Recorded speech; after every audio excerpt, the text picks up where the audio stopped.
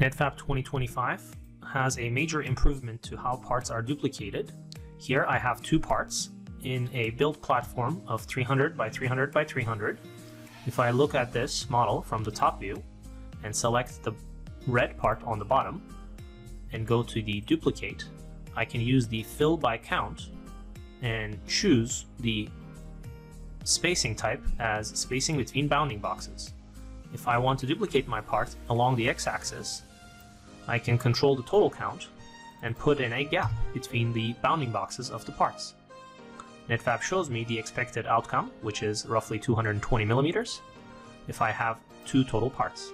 The moment I go to three parts, Netfabb uh, shows me that my total size will be roughly 340 millimeters, and my duplication will exceed the platform size. If I hit OK, you will see that my third part is beyond the boundary of the platform. With the 2025 release of Netfabb, we have a new method to duplicate our parts. If I go to the same fill by total count, choose the x-axis to duplicate my parts with a gap of 5 millimeters. This time I'm going to use the new distance type, which is the spacing between part surfaces, and then type in 2. And you will see that I am now less than 200 millimeters, and if I even add a third part, I'm still within the boundary. If I hit OK, you can see that these parts are closely packed together and the gap is not measured between the bounding boxes of the parts. So let's hide the platform visibility to get a better look. Here, these two parts at the bottom, the gap is between the bounding boxes of the parts, but that actually puts a very large gap between the parts in terms of you know, where they're going to touch. Here we have a much tighter pack, and in fact the bounding boxes of the parts are overlapping, but that doesn't mean the parts are touching. That means there's still a 5 millimeter gap between the parts, um, and therefore I can pack a, my parts much more effectively using this duplication method.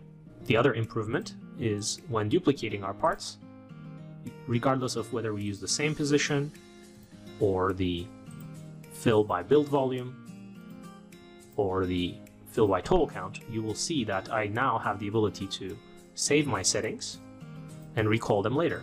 So if I often find myself using the spacing between parts in the X, Y, or Z with a certain gap, I can save that.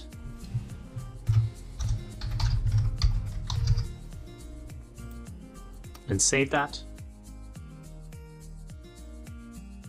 And next time I want to duplicate my parts, after selecting a part and going to that setting, I can jump directly to the 5x surface and all my settings are recalled.